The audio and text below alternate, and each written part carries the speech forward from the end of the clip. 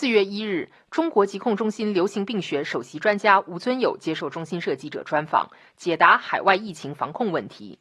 他表示，虽然研判全球疫情拐点很困难，但可对全球短期疫情变化做出基本判断。预计在未来一周，全球疫情还将呈现上升态势。我们只知道各个国家呢报告的数，但是我们不知道呢这些报告的病人啊，他具体的发病时间，这是一个困难。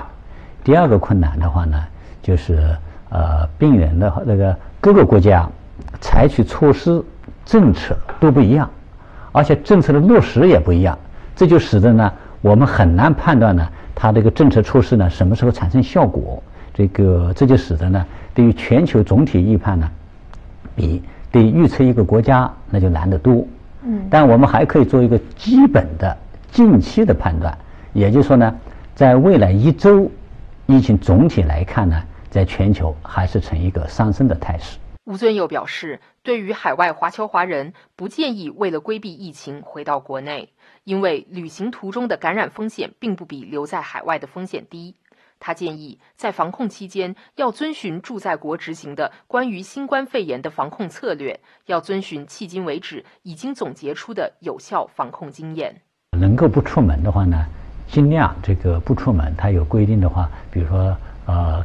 居家工作或者居家隔离，这个两周三周，那么严格去执行，需要呃要备注呢这个食物这个用品，这样呃第二个呢，如果真的要出门的话呢，一定要戴口罩，一定要戴口罩，要保持这个和其他人的这个距离。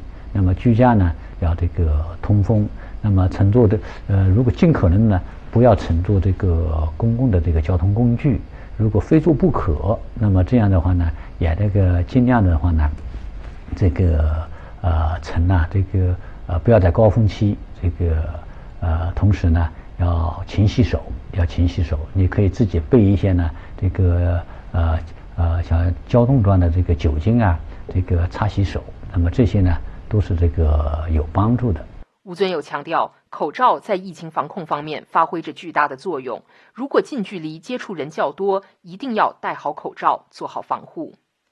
除了全球疫情，吴尊友也对武汉四月八日解封后中国疫情可能的发展情况做出了判断。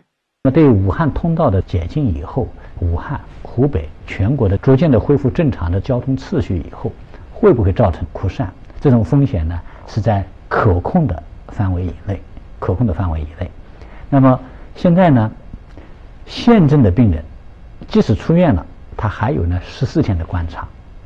那么对于健康的人，没有生病的，没有生病的人，他在武汉也好，在这个湖北也好，已经实施了这个不止两周了。如果两个月居家隔离没有发病，他也就是一个健康的人，就不会有任何威胁。所以大家呢，一定呢要相信科学。这个不要呢，对这个湖北、对武汉的这个同志呢有另眼相看，他们呢也是这个健康的，这个不会呢对我们任何人啊构成这个风险。吴尊友说，中国当前的防控压力主要来自境外输入，而不是武汉通道解禁。与此同时，有关部门和全国各地也都不会放松防控措施的力度，会更加积极地做好防控措施部署和落实，迎接可能出现的二次流行挑战。因此，他认为武汉解封后，中国不会出现二次流行。